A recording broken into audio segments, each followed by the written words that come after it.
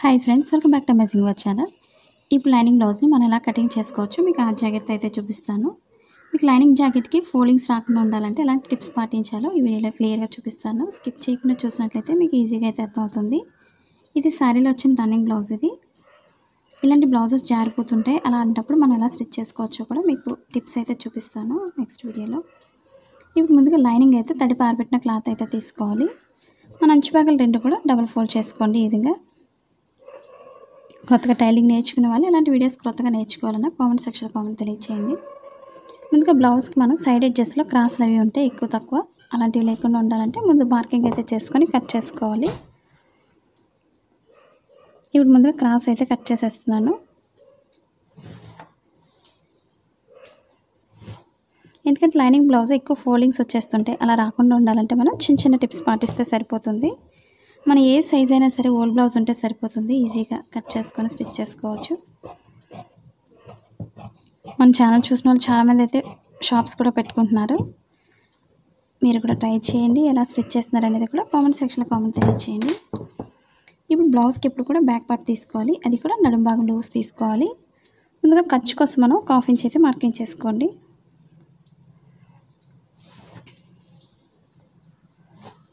మనం ఏ సైజ్ అయినా సరే ఇదే విధంగానే తీసుకోవాలి. ఇప్పుడు బ్యాక్ పార్ట్ ఒకటి మిడిల్కి ఫోల్డింగ్ చేసుకోండి ఈ విధంగా. డాట్స్ కోసం మనం ఒక వన్ ఇంచ్ ఎక్స్ట్రా తీసుకోవాలి.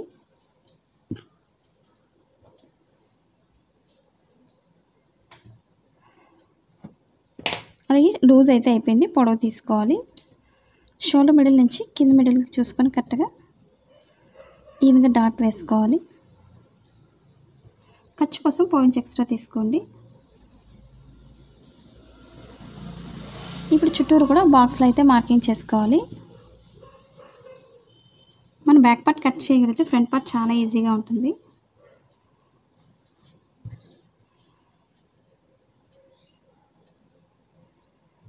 మనకి నడుము భాగం పైకెత్తకుండా ఉండాలంటే ఇప్పుడు మీకు టిప్స్ అయితే చూపిస్తున్నాను బోటెక్ స్టైల్లో మనకి బెల్ట్ అనేది లాస్ట్లో తీసుకోవచ్చు. మీరు బెల్ట్తో స్ట్రైట్గా తీసుకోవడం మీకు బ్యాక్ పార్ట్ అనేది పైకెత్తేస్తుంది కాబట్టి బెల్ట్ అనేది లాస్ట్లో తీసుకోవాలి.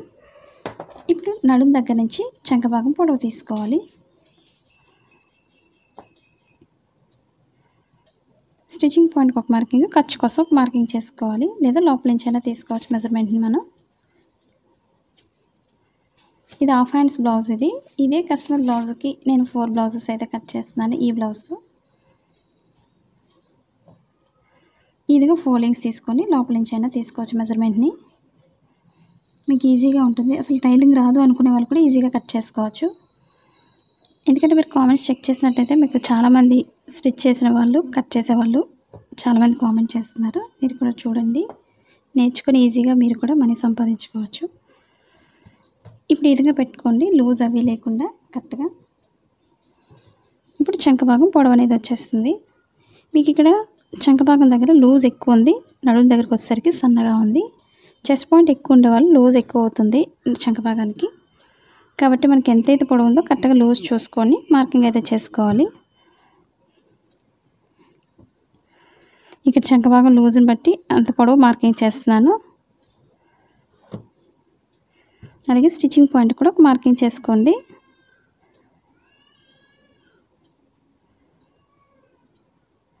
ఖర్చుతో ఒక మార్కింగ్ చేస్తున్నాను.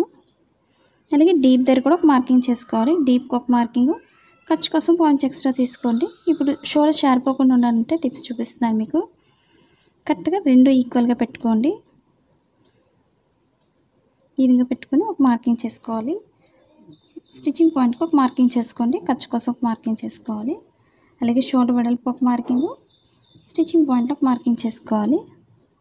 మనకు లూజ్ ఎంత అవుతుందో లూజ్కి ఒక మార్కింగ్ చేస్తున్నాను.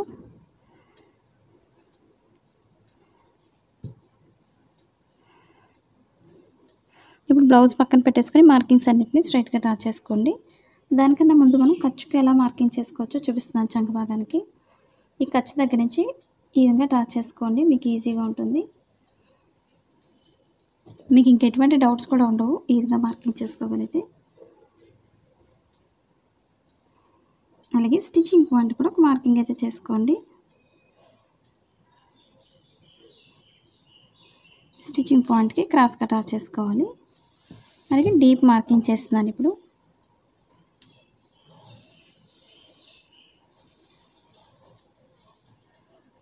ఇక్కడ కూడా డీప్ దగ్గర ఒక మార్కింగ్ స్టిచ్చింగ్ పాయింట్లో ఒక మార్కింగ్ చేసుకోవాలి. ఇప్పుడు చుట్టూరు కూడా డ్రా చేసుకోండి. నెక్ అనేది రౌండ్ మార్కింగ్ చేస్తున్నాను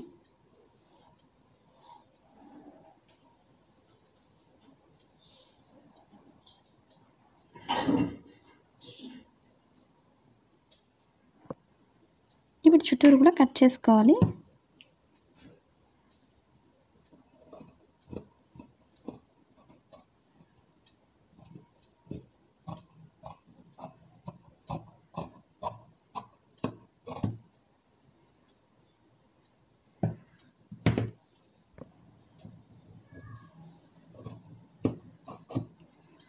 క్లాత్ని ఎటు జరపకుండా ఈక్వల్గా చూసుకొని కట్ చేసుకోండి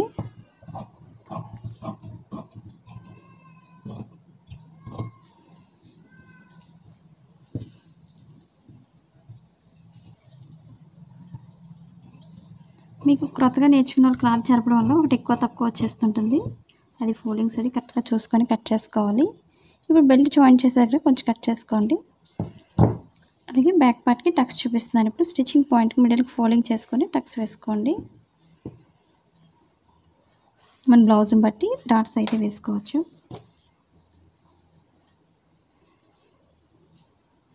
మనకి కరెక్ట్గా పొడవు సరిపోతుంది. మన ఏ సైజ్ అయినా సరే మెజర్మెంట్ ఇదే విధంగా వేసుకోండి. ఇప్పుడు ఇదే బ్యాక్ పార్ట్తో ఫ్రంట్ పార్ట్ మెజర్మెంట్ తీసుకోవాలి. ఒక టూ ఇంచెస్ వరకు పైకి ఫోల్డింగ్ చేసుకోవాలి. ఇప్పుడు ఫ్రంట్ పార్ట్ ఉక్సులు పట్టిని ఉపయోగించుకోవాలి. చాలామందికి డౌట్ వస్తుంది. ఫ్రంట్ పార్ట్ అంటే తాలిపట్టి కూడా తీసుకోవచ్చు కదా అని. మన తాలిపట్టితో తీసుకోవడం వల్ల మెయిన్ మనకి మెడభాగం బాగా పెద్దదైపోతుంది. మీకు రెండు కూడా ఒకసారి చెక్ చేసి చూపిస్తున్నాను మీకు. ఎందుకంటే క్రొత్తగా నేర్చుకున్న వాళ్ళకి ఏదైనా పర్వాలేదు అని అనుకోవచ్చు.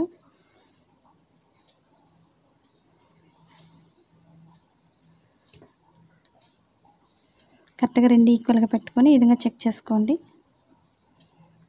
మనకి ఇది ఎక్స్ట్రా పట్టి వస్తుంది ఇది తాళపట్టి కాబట్టి మనం తాళపట్టిని ఉపయోగించుకోకూడదు. ఇది ఒకసారి తెలుసుకుంటే సరిపోతుంది కొత్తగా నేర్చుకునే వాళ్ళు. ఇప్పుడు ఫ్రంట్ పార్ట్కి ఉక్సులు పట్టితో మెజర్మెంట్ చూపిస్తున్నాను ఇప్పుడు. షోల్డర్ మిడిల్ నుంచి కింద మిడిల్ డాట్కి కరెక్ట్గా పొడవు అనేది సాగకుండా చెక్ చేసుకోండి. మీకు ఫ్రంట్ పార్ట్ అనేది తేడా వచ్చేస్తుంది. కాబట్టి సాగకుండా ఈక్వల్గా చూసుకోవాలి. ఇప్పుడు మనకి కరెక్ట్గా ఫోల్డింగ్ అనేది సరిపోతుంది. ఇప్పుడు కాస్గా తీసుకోవాలి.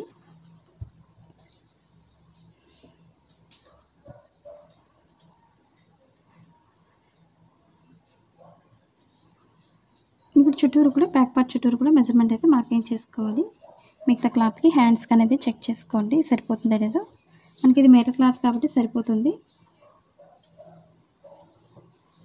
ఓపెన్ సైడ్ నెక్ పార్ట్ ఎప్పుడు పైకే మార్కింగ్ చేసుకోండి. స్టిచ్చింగ్ పాయింట్ లూజ్కి ఒక మార్కింగ్ చేసుకోవాలి ముందే.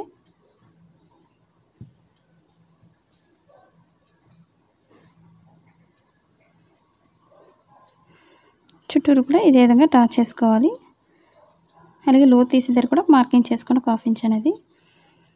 ఇప్పుడు స్టిచ్చింగ్ పాయింట్లో ఒక మార్కింగ్ చేసుకోవాలి. బ్లౌజ్ పక్కన పెట్టేసుకుని మార్కింగ్స్ అన్నిటిని ఒకసారి చెక్ చేసుకోండి. ఇప్పుడు ఉక్సులు పట్టిని ఉపయోగించుకొని మనం మెడ భాగాన్ని మార్కింగ్ చేసుకోవాలి.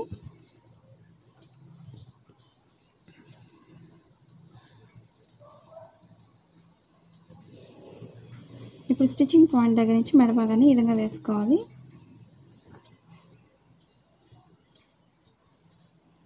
చుట్టూరు కూడా ఈ విధంగా డ్రా చేసుకోండి. ఖర్చు కోసం పాయింట్స్ ఎక్స్ట్రా పైకి మార్కింగ్ చేసుకోవాలి. అలాగే ఇప్పుడు స్టిచ్చింగ్ పాయింట్ నుంచి మిడిల్ డాట్కి కింద ఖర్చు కోసం మనం వన్ ఇంచ్ ఎక్స్ట్రా తీసుకోవాలి. అలాగే షోల్డర్ మిడిల్ నుంచి కింద మిడిల్ చూసుకొని లోత్ అయితే తీసుకోవాలి. నార్మల్గా ఉండే పైనుంచి సరిపోతుంది. అదే చెస్ట్ పాయింట్ ఎక్కువ ఉండేవాళ్ళు లావు ఉండాలి కొంచెం కింద నుంచి లోతు తీసుకోండి. అలాగే నడుము భాగానికి వచ్చేసరికి కొంచెం లోతు భాగాన్ని పైకి డ్రా చేసుకొని చుట్టూరు కూడా కట్ చేసుకోవాలి.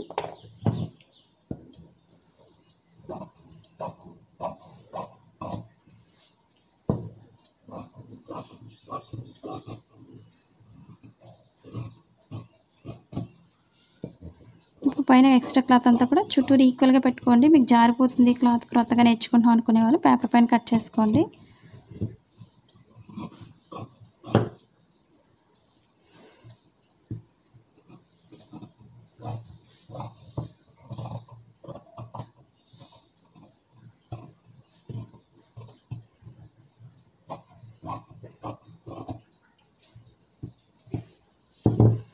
ఇప్పుడు ఫ్రంట్ పార్ట్లో మనం లోతు అయితే తీసుకోవాలి. ఫోల్డింగ్స్ రాకుండా ఉండాలంటే మనం ఫ్రంట్ పార్ట్కి అయితే లోతు తీసుకోవచ్చు. ఇప్పుడు మనం మార్కింగ్ చేసిన దగ్గర ఒక హాఫ్ ఇంచ్ తీసుకోండి.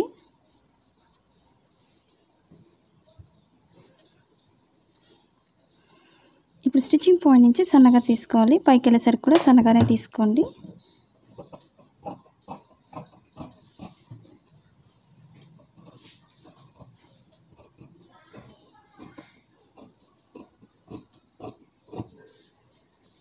డాట్స్ వచ్చి మీకు నెక్స్ట్ వీడియోలో చూపిస్తాను.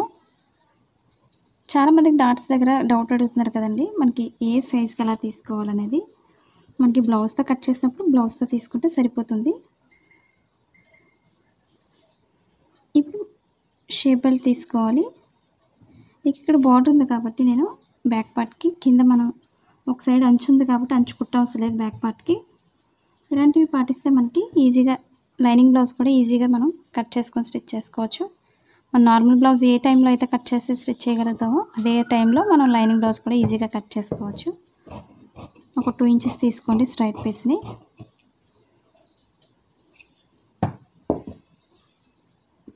ఇప్పుడు షేప్ బెల్ట్ కట్ చేస్తున్నాను. మన షేప్ బెల్ట్ కూడా ఉక్సులు పట్టిని ఉపయోగించుకొని కట్ చేసుకోవాలి.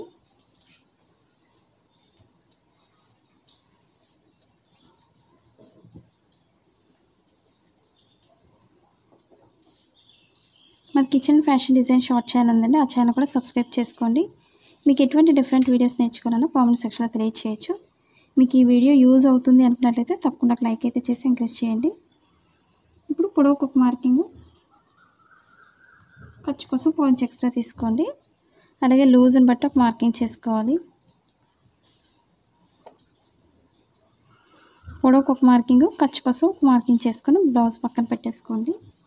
ఇప్పుడు పైనుంచి లోతు తీసుకుంటూ నడుం భాగానికి డ్రా చేసుకోవాలి. మీకు క్లాత్ని బట్టి ఇంకొక రెండు తీసుకోండి. మనకు తక్కువ ఉంది క్లాత్ అనుకున్నట్లయితే కరెక్ట్గా తీసుకోండి.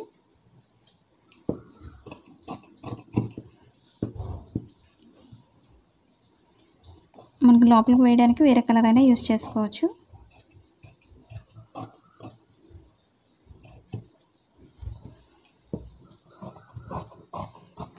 కొంచెం లోతు అయితే తీసుకోవాలి ఈ విధంగా మరి ఎక్కువ కాదు.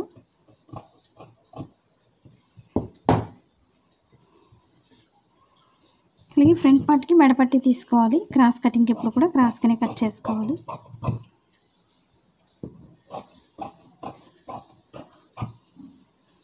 మీకు పైపింగ్ వీడియోస్ అనేది లాస్ట్ వీడియోస్లో పెట్టాను. ఒకసారి చూడలేని వాళ్ళు ఉంటే చూడండి. శారీలో వచ్చిన స్ట్రైట్ పీస్తో మన బ్లౌజ్ పైపింగ్ ఎలా వేసుకోవచ్చో చూపించాను. ఈ విధంగా క్రాస్ కటింగ్కి మనం క్రాస్గా కట్ చేసుకోవాలి మెడపట్టి కోసం. మీకు ఎటువంటి డౌట్స్ లేకుండా అర్థమవుతుందని అనుకుంటున్నాను. డౌట్స్ ఉన్నట్లయితే కామెంట్ సెక్షన్లో కామెంట్ తెలియచేయండి.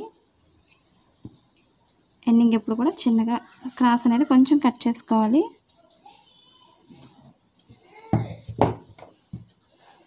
ఇప్పుడు హ్యాండ్స్ కట్ చేసుకోవాలి అలాగే ఓపెన్ ముక్కలు కూడా తీసుకోవాలి. ఓపెన్ ముక్కలకి అయితే రెండు తీస్తున్నాను స్ట్రైట్ పీసెస్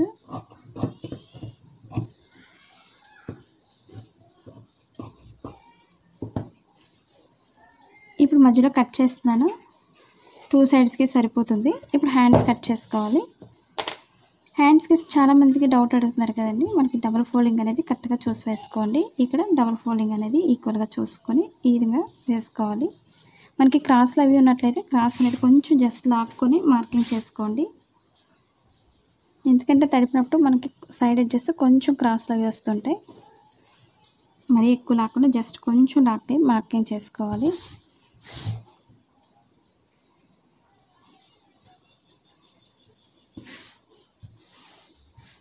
ఇప్పుడు ఇదే క్లాత్ని మిడిల్కి ఫోల్డింగ్ చేసుకోవాలి. మనం ముందు క్లాత్ని మాత్రం కింద ఎక్స్ట్రా క్లాత్స్ని కట్ చేసుకోవాలి. మనకి స్ట్రైట్గా వచ్చే విధంగా చూసుకోండి మెయిన్ కట్ చేసేటప్పుడు. మన నార్మల్ బ్లౌజ్కి ఎప్పుడు కూడా కింద ఒక one and half inch marking చేసిన విధంగానే ఇక్కడ కూడా మార్కింగ్ చేసుకోవాలి. ఇప్పుడు హ్యాండ్ పొడవు ఈ మార్కింగ్ పైన తీసుకోవాలి.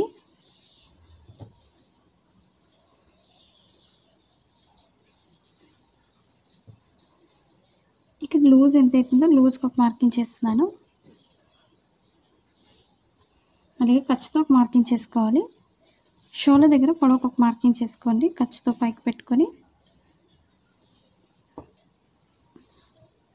అలాగే చంక భాగం మార్కింగ్కి డ్రా చేసుకోవాలి. మనకి కరెక్ట్గా సరిపోతుంది. పొడవుకు ఒక మార్కింగ్ ఖర్చు కోసం ఫోర్ ఇంచ్ ఎక్స్ట్రా తీసుకోండి. అలాగే లూజ్ని బట్టి ఒక మార్కింగ్ చేసుకోవాలి. ఇప్పుడు హ్యాండ్ పక్కన పెట్టేసుకొని మార్కింగ్స్ అన్నిటిని కూడా డ్రా చేసుకోవాలి.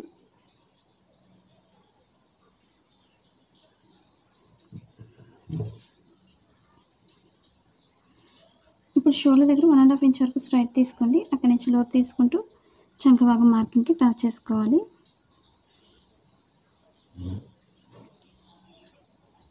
మనకి టూ ఫోల్డింగ్స్ కూడా ఈక్వల్గా ఉండలేదు. ముందు చూసుకోవాల్సింది. ఇక్కడ మనం కరెక్ట్గా చూసుకుంటే మనకి బ్లౌజ్ హ్యాండ్స్ అనేది పర్ఫెక్ట్గా వస్తుంది. అలాగే స్టిచ్చింగ్ పాయింట్కి ఒక మార్కింగ్ చేసుకోండి. మనకి క్లాత్ తక్కువైనా క్లాత్ అయితే యాడ్ చేసుకోవాల్సి ఉంటుంది.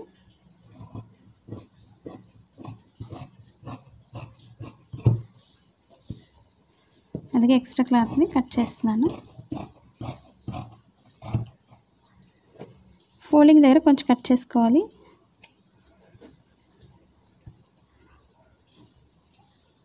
షోల్డర్ మిడిల్లో కొంచెం కట్ చేసుకోండి. టూ హ్యాండ్స్కి కూడా లోత్ అయితే తీసుకోవాలి. రాంగ్ సైడ్ ముందు టాచ్ చేసుకొని ఫ్రంట్ పార్ట్కి వచ్చే విధంగా స్టిచ్ చేసుకోవాలి.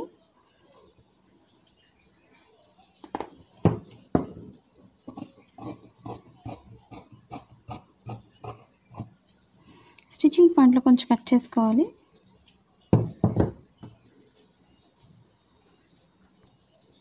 షేప్ బెల్ట్కి ఇంకా క్లాత్ ఉంది కాబట్టి ఇంకొక రెండు కట్ చేస్తున్నాను. మీకు తక్కువ ఉంది అనుకున్నట్లయితే రెండే తీసుకోండి. వేరే క్లాత్ అయినా కట్ చేసుకోవచ్చు. లోపల వేసుకోవడానికి మీకు స్టిఫ్గా ఉంటుంది.